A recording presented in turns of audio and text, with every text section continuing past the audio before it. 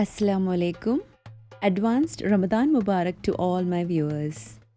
In today's video, showing you all three snack recipes that's traditionally prepared.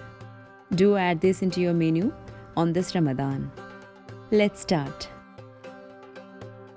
First of all, showing you all a traditional snack prepared in the Malabar region in Kerala.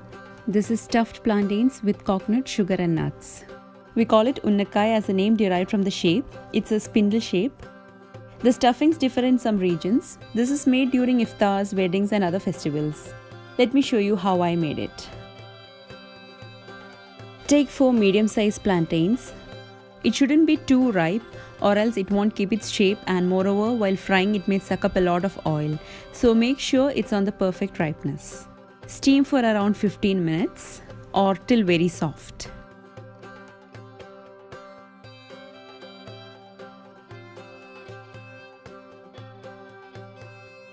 Meanwhile, chopping a handful of cashews. Into a kadai, heat 2 to 3 tablespoons of ghee. Roast the chopped cashews first and when it turns to a light brown color, add the raisins.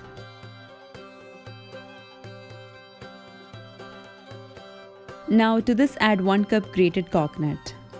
In some parts they scramble an egg to this. I'm not adding it now. Then goes half to 3 4 teaspoon of cardamom powder and mix well for a few minutes. Take it off and transfer to another bowl.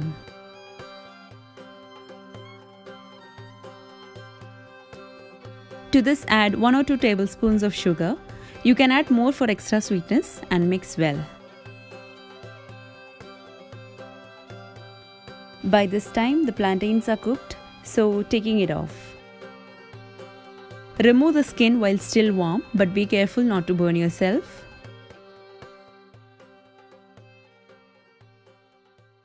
You can add this to a blender. Here I'm just using a fork to mash it up.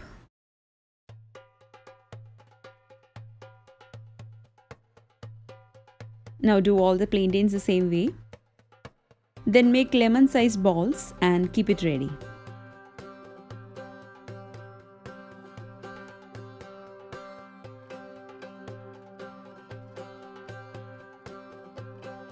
I had shown this in my dinner vlog. Onto a roti flattener, add some ghee and spread on both sides. Take a ball, lightly press with your hands and keep on the roti flattener Flatten it with light pressure. Let it be little thick. Now fill in the coconut mixture and close it.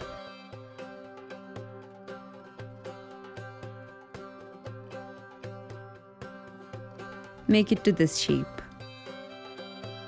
This is not the traditional method. They don't use the roti flattener. It's done with hands. Just trying out an easy way.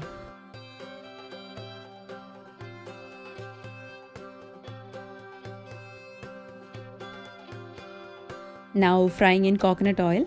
This snack doesn't suck up much oil if the right plantains are used, so I'm adding little oil just to not waste much. Keep rolling so that it's even in color.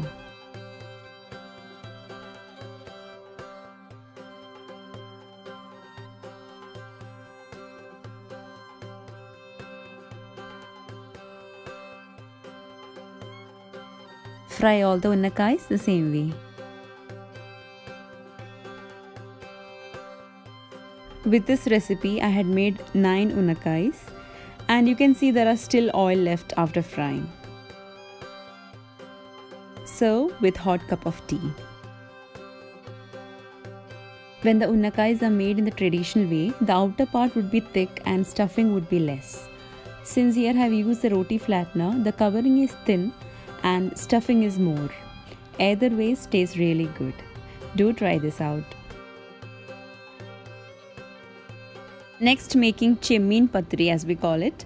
It's prawns masala in rice pockets. This can be served as a snack during iftar or it can be served during the main meal. Let's see how to make it. Take 1 cup rice. Here I've used the normal rice that's used for cooking for lunch. You can take ponni rice, red rice or any other kind of rice. You can also choose basmati rice for this but that isn't the authentic one used here. Wash and drain the rice. Then soak it for at least 6 to 8 hours. I had soaked this in the morning and used it during the evening for preparing the snack. Then take half kilo prawns, clean it and here I'm just cutting one into two pieces as it was very large. To this add 2 teaspoons Kashmiri red chili powder, 1 teaspoon turmeric powder and 1 teaspoon salt and marinate for a few minutes. For making the masala, take 1 onion, 4 garlic cloves, 1 inch piece ginger, 3 green chilies, 1 tomato and a handful of coriander leaves. Slice the onion, grind ginger, garlic and green chilies together, chop the tomato removing the seeds and chop the coriander leaves. Into an iron kadai, add 2 to 3 tablespoons of coconut oil. Shallow fry the prawns.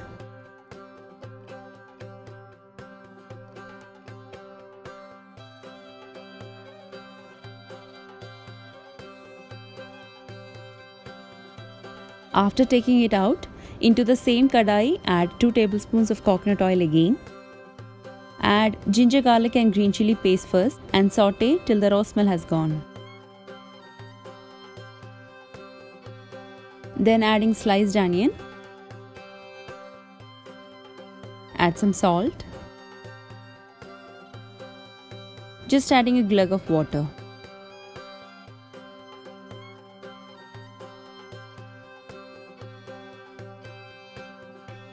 Once onion is well sauteed, add the chopped tomato and cook till soft.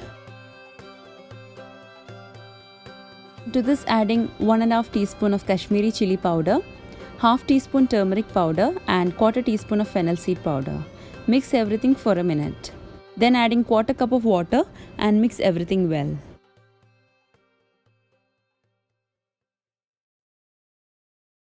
Just chopping the prawns into much smaller pieces using a kitchen scissors. Add it into the masala along with the chopped coriander leaves. Mix well.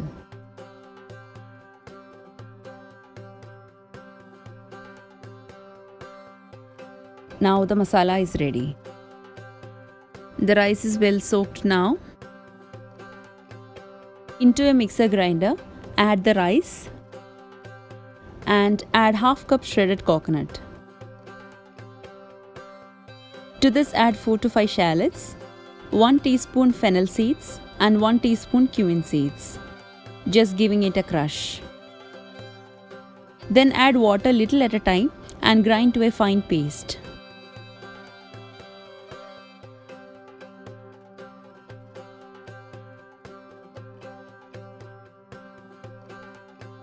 Now add this to a bowl. Take half cup rice flour and add this to the mixture little at a time.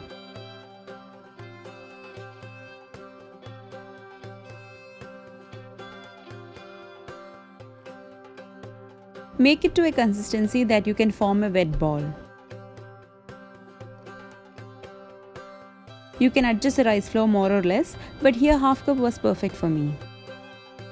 Add salt and mix.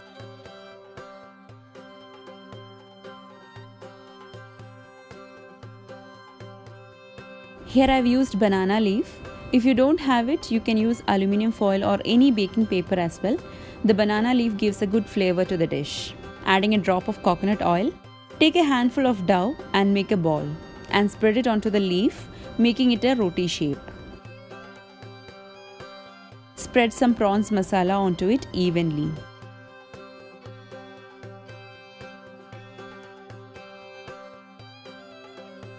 Make another roti the same way onto another leaf. And cover the prawns masala.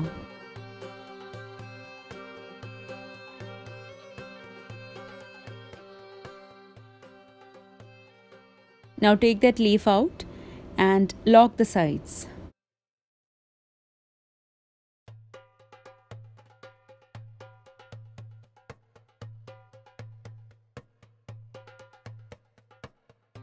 Cover it again with the leaf and steam for 15 minutes. Meanwhile, make the rest and steam.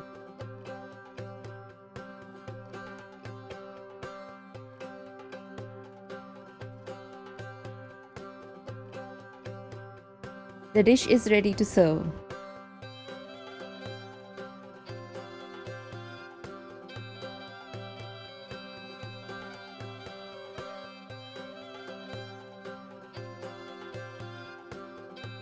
Now next is another traditional snack usually prepared with rice flour and with a sweet stuffing but here I'm making it with whole wheat.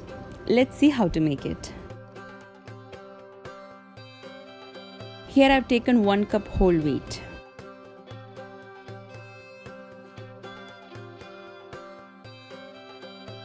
Wash well and drain. Then soak it for at least 6 to 8 hours.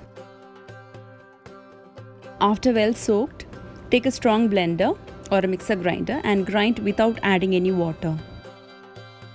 If you can grind in one go, do it so. I have done in parts.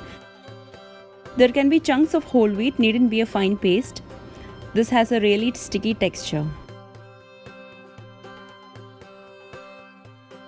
Add it to another bowl and keep it ready. Now for the stuffing, add 1 cup shredded coconut into a mixing bowl. Here I have melted jaggery in very less water to make a thick consistency, adding quarter to half cup to the coconut. You can add more or less according to your taste buds.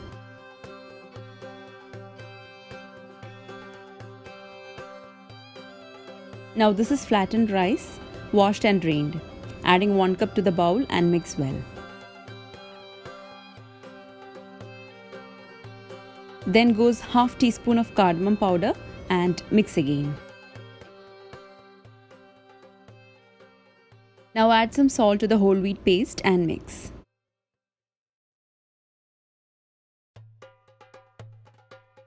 Now let's prepare the snack. It's the same way as of the prawn rice stuffing. Spreading a drop of coconut oil onto the banana leaf or aluminium foil if you don't have the leaf. Take a handful of the dough. Make sure you have some oil on your hand otherwise it will be very sticky and you won't be able to spread well onto the banana leaf. Add the coconut mix onto this. Cover just like a half moon.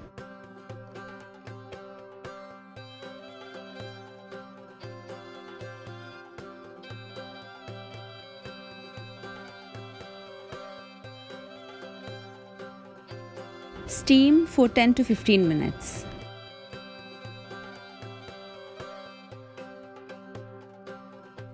Similarly, prepare the rest and keep ready for steaming.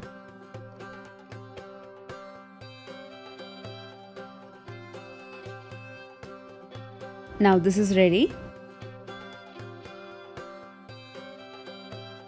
Steam the rest. Do not overlap while steaming more than one at a time.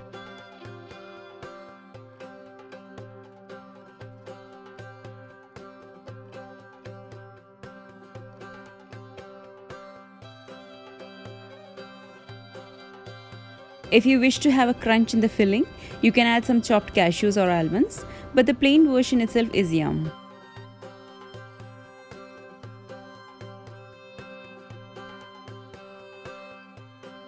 So do try these recipes friends and would love to hear your feedback.